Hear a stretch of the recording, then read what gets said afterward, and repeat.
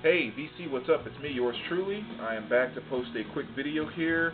I'm actually going to do a response to my 2,500 subscribers contest. Um, you know, it's about halfway through now, so I just want to kind of, again, jump in and do my quick response. I have gotten a few responses already, and I was trying to go through and kind of sort those out today. Um, as I'm sure as many of you know, if you've been reading some of my comments, you know, I hate the way they switched up the whole YouTube thing and don't have, you know, the nice video response thing. So I just want to kind of throw this out there. So in case I haven't seen your video yet, I don't mention your name, uh, shoot me a message in, you know, in this video here so I can make sure I go check out your video. But I've stumbled across videos from Adam, uh, Robert Z, uh, let's see, Chad Everett, uh, Sean, Bobby Gass, and then also Blake, Blake Wilcox. So those are the ones that I have down as people that have done video responses. For those of you that have done them, and again, I didn't mention your name, you know, the whole new YouTube thing, I apologize, but just shoot a message down below here and say, you know, I did a video, and I'll go to your channel and find it. But uh, anyway, this is my response to the video, which was the support cast, basically, was the video. Actually, now think about it, what exactly what title did I put on it? Totally forgetting that. Um, that's a shame. Need to go back and look at my own. Okay, yeah, uh, contest, 2,500 subs contest supporting cast. That's what I, that's what I called it. So basically, what it was was just to kind of go in and pull out albums, songs, whatever, where there was something that was kind of in the background of the song that or the album or whatever that really kind of is a very strong, attractive piece to you within the music itself, but yet it's not really the forefront of the song, like you know the lead singer just singing lead vocals or whatever. So uh, I kind of mentioned you can interpret it any way you want, just to kind of you know whatever you feel comes out of you, go for it. So I'm just gonna do that really quick. Oh, playing in the background, we have Type O Negative, in case you're curious. Dead Again. Very good stuff. Two LP set. This is on a what I refer to as radioactive vinyl, green vinyl that is. But that's what's playing. So anyway, I pulled out a bunch. I have kind of my top three, if you will, but as always, I have to cheat a little bit and just kind of pull out some of the other ones that come to mind. Um, first one here, Kam. This is the song uh, Peace Treaty. This is actually you know the 12 inch. And very cool thing about this song that's kind of in the background, there it's almost used as like a looped instrument type thing, but there's some guy in the background that's just singing, yeah, yeah, yeah. I think it's yeah, like he repeats it three times and it just keeps looping over and over. But I remember way back when this song even first came out, back in like my high school, college days, like that that is just what made the song was that that yeah yeah loop that, that takes place inside of the song. So that was definitely one. Uh, let's see. Second one here, we're going to Bruce Springsteen, and it's the song Tunnel of Love, and uh, the background, if you will, the supporting cast in that song was the uh, I can't even say it, it's the word. It's just kind of like that at the very end of the song where they go into like that that hell. It's not even really a hum as much as a I guess a ooh that they were kind of saying. I mean, but I mean those you know that song, you know probably know that pretty well. But I just always thought that that ending going into the song was just one of the most beautiful things that really takes that song just kind of soaring at the end. And then the the, the sha-na-nas they do at the very end, it's just, I mean, I don't know, that always made the song for me. So, uh, great backing vocals in that. Definitely good supporting cast for that song. Sade, there's a lot of different ones you can choose from with her. Um, you know, because there's a, you know, I've always said this about Sade. She's not a very good singer at all, but she makes great, beautiful music.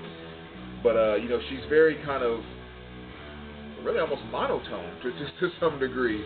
But what that does is it also creates for kind of great backing vocals because the person that's kind of floating behind her doesn't really have to be you know, an Aretha Franklin or something in order to be a great support and complement to her. And so there's a few guys that sing backing vocals sometimes it just flows so just kind of right under her in a very beautiful way. And songs like Bulletproof Soul are perfect. It's a perfect example of that. So uh, that's definitely a supporting cast that I like to pick there. Prince, of course, the song Diamonds, Diamonds and Pearls. Actually, I pulled out the wrong one. This is the most beautiful girl in the world. Although you, I think it's the same chick though. But uh, I thought I was pulling out Diamonds and Pearls. And of course, the, the woman that's singing with Prince on that, you know, great backing vocals. And actually, when they get to the chorus, she kind of takes over a little bit. And Prince becomes the backing vocal more so in the in the chorus. But uh, anyway, Better Off Dead one of my favorite 80s movies, one of my favorite movies, 80s movie soundtracks. And the song Arrested by You by Rupert Hines. And I actually really didn't realize this until I started paying attention to this particular contest. But again, when they go into the chorus, the backing vocals that follows him just in the chorus, my favorite part of that entire song. And when I was looking on the credits on here, it was saying all vocals and instrumentals by Rupert Hines. So I guess he, you know, recorded his voice and did the whole tracking thing, and I never realized it was him that was singing background vocals on his own, you know, on his own song, kind of like Marvin Gaye did with uh, "Let's Get It On," which is one I should have pulled out as well. But that's definitely a great supporting cast, even though it was kind of still one guy. Might have been cheating a little bit there. Lost Boys. Of course, the song uh, "Cry Little Sister." Um, the theme from The Lost Boys by what? Oh, Gerard McMahon. And of course, the supporting cast there is kind of the kid's voice in the background singing, you know, "Thou shall not fall." Um, you know, again, that that just that little thing that those those kids do uh, underneath the chorus just gives it that real creepy, eerie, uh, just cuts that adds a power to it. And so that's definitely one of my favorite supporting casts there. This is not so much an artist, but it's one that I always think about every time I listen to this song. MCA II Society. I mean, this is your typical, you know, 90s, early 90s, you know, when rap started getting into the, everything was shoot 'em up, bang bang, and all that crap. But uh, one thing I really liked about this, even though this is one of those shoot 'em up, bang bang songs, the the keyboards that flow in the background of this actually add just this this undeniable beauty to the song where if you took away his lyrics, I mean, it would really almost be. It doesn't sound like it, but it gives me almost a jazz-like feeling when I listen to it. Uh, I don't know. It's just something about those those notes that that those keyboards are playing that uh, it almost doesn't belong with the song, but at the same time, it brings it together in a great way. So uh, whoever was playing those in the back is a you know, great supporting cast on that song. Sheila E. This is Romance 1600. And uh, the song on here, of course, is Love Bizarre. And those that know Sheila E., I'm sure you know right off the bat, uh, this was kind of that time frame when she was kind of, uh, I don't know if it was dating or whatever else, but her and Prince were kind of like doing things together in terms of just like you know interacting, hanging out musically, and all different kind of things. I mean, it's kind of no secret. Right? You can see by the cover there, she was very, uh, the whole band was very Prince and the Revolution influenced at that point in time. But on the song Love Bizarre, Prince is the one that sang background vocals.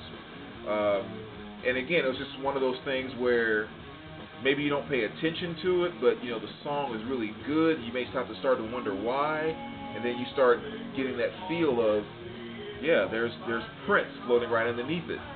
Especially this one part in the center, and it always ticks me off because of course I love the movie Krush Groove, and Sheila E. was in Krush Groove, and she performed this song in Krush Groove, like she was performing it live at a club. Well, the problem is when Prince's parts came in, this guy in the movie was lip syncing it, and it just always ticked me off because it's just like there's no use in trying to fake Prince, especially in the middle of, of uh, Prince's kind of a reverberating solo in the middle where he does his, you know, that that yah scream that Prince does, that only Prince does, and he tried to do it in the movie, and it was like, what's the point? It's Prince. Don't try to, don't even begin to try to imitate that or or lip sync. It just makes you look stupid because you don't look like. I guess he kind of looks like him though, but it's like you're not Prince. But anyway, I'm getting way off base there. But I always think about that when I hear that song. Cause that to this day, if I watch that movie and see that scene, it still bugs the heck out of me. but uh, so Prince singing background to Sheila E. on Love Bizarre. Jermaine Jackson, one of my favorite songs out of his solo career is "Tell Me I'm Not Dreaming," and one of the things that made that song a hit was Michael Jackson singing in the background slash coming in on the second verse completely made that song. So uh, that's definitely a great one. Cyndi Lauper. Uh, a lot of different places on this album, there's different things you can choose. Whoever the guy is that sings background under stuff like Time After Time and um, All Through the Night and stuff like that, and I actually didn't even look up his name to see who it was. But uh, was it her like her boyfriend at the time or producer or something? Which I think maybe one of the same. I don't know. I'm not that familiar on her history and all of that. But whoever that guy was, the backing vocals that he would do, uh, in contrast to Cyndi Lauper's very high, you know, high tone voice, um, definitely a very, very, very good supporting cast on that album. Latina going back to the the kid thing, the you know when you go into the chorus of this this song or the song by Martika, I should say, which is Toy Soldiers. You know the the step by step, or once once you come out and play with me, the, that those like the way those kids say it, it's almost Freddy Krueger, Nightmare on Elm Street like and everything. But that little piece just adds, I don't know, a significant punch to the song and you know they only do it like three or four times, maybe not even that, maybe three times throughout the song, where they say, "Won't you come out and play with me?" And it's just a, a nice small touch to really bring something out in the song. All right, so my top three. So those are ones I just pulled out and had to show, but these are the actual three that I picked. Best supporting cast. I talked about this one when I was actually making the video. Laura Branigan, the song Self Control, the guys that sing the backing vocals on the chorus, and all they say over and over is, "You take myself, you take my self-control." It's just, I don't know, with, with the song and her voice and the way those guys just kind of just float right behind her. That's my favorite part of the song is listening to them sing that background vocal. So uh, that's number three on my list there. Yeah, there we go. Laura Branigan and Type O Negative. Your brain doesn't know what to do with that information right now. Um, number two on my list.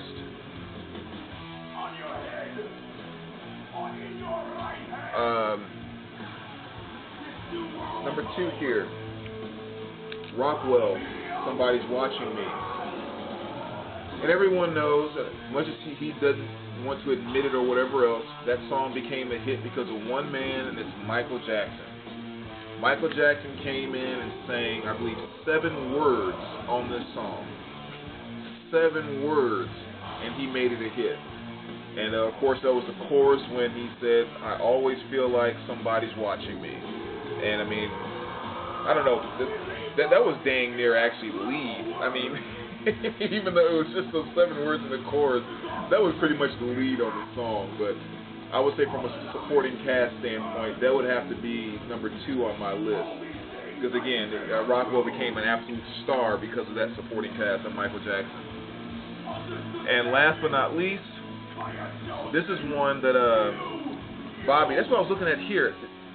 When I rambled off those names earlier, did I say Bobby? Did I say your name? Is one person I also saw a video of. If I didn't, I did see your video, Bobby. And one of the reasons why that came to mind is because my number one pick was actually one that you had in your video, and it was Sam Cooke. And I think probably the greatest supporting cast of all time was Lou Rawls singing backing vocals on the Bring It On Home. That that is just I don't know. It, it, it's perfect. You you could not do backing vocals any better than Lou Rawls did on uh, "Bring It On Home" or "Bring It On Home to Me." I'm sorry. Um, it's just just perfection, absolute perfection. And so that that is my number one pick for best supporting cast, right there. All right. So and like I said, I think uh, Bobby picked that picked that one too uh, inside of his video. So great minds think alike. There were a couple of other ones that I guess I just kind of realized I don't have the CDs anymore. You guys remember a few years ago I went through a CD selling phase, and I have some stuff on my iTunes. But these are some I, I realized I didn't still have on CD. Uh, I don't have the Rockstar CD, the soundtrack anymore. But one song on there, "We All Die Young," the uh, back the background vocals on that again great great supporting cast on that one. Uh, American Pie I think it was the first first American Pie. I don't remember the name of the the girl who sings it. It's on my iTunes. I should look it up. But anyway the song Good Morning Baby. I think the guy that was singing background on that is the guy from Semisonic again, I'll take my word for it, but the the guy that was singing backgrounds on that song "Good Morning Baby," absolutely beautiful, perfect, perfect supporting cast there. And then the the girls who sang background on uh, "I Could Fall in Love" by uh, what's her name? Oh gosh, totally going brain dead here. I can't get Celine Dion out of my head now, so I can't think of her name. Anyway, I'm sure many know who I'm talking about. Uh, the girl that was shot by her her manager, uh, the Latin star. Why am I going totally brain dead on that? Anyway, that's one too. The uh, the background vocals on "I Could Fall in Love," very very beautiful supporting cast there as well. So, whew, okay, those are my picks. That's my response to my own contest. And again, if uh, those of you that haven't uh, done a response yet, jump on board. Um, I don't have my prizes in front of me, but we have some Ramon albums, some uh, Iron Maiden tour cups, and then also some other things available as far as prizes go. So jump on board. If I didn't mention your name and you've already made a video, make sure you let me know. All right? So take care, VC.